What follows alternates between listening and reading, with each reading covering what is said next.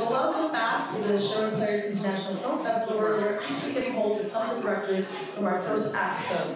I'm here with that right. Um, and he did the really funny film, The Fountain Pen. Tony, what was your inspiration for doing this film?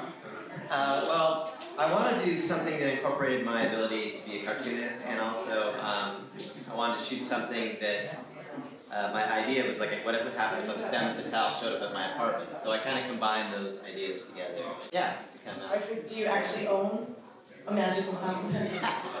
I own a couple fountain pens, but they're not magical.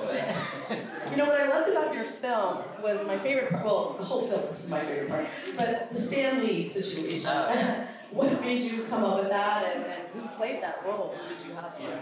Uh, we had a great guy named Alan Shankman, and he was a member of this film collective I'm a part of called We Make Movies, and um, the uh, we made this actually before Stan Lee passed away.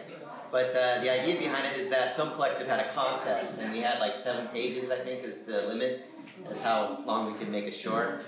And um, so I had to end my short. I was writing it, and then like I have to end it really quick. So I thought, how can I end it really quick? I'm like, I'll put Stan Lee as the guy that gives the pen, and that's how we end. Oh my gosh, yeah. that is brilliant. Speaking of making things quick, how long did it take you to actually do the fountain pen? Like how how many days, hours? Uh, yeah, it was a it was a three day shoot.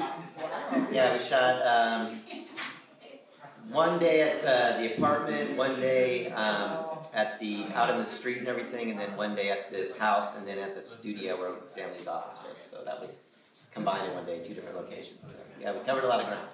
Well, well done, Tony. Oh, thank you. And where can people find you? And actually, the film, I know we, we saw it here at the International Sherwood Players International Film Festival. Where else can anyone get a hold or watch your film?